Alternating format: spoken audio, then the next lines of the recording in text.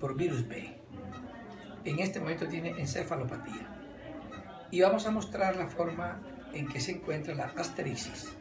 Mujer, estira los dedos, estira los dedos, estíralos, estíralos. Esa caída súbita, estíralos. Esa caída súbita quiere decir que se ha perdido el tono. Si hacemos así,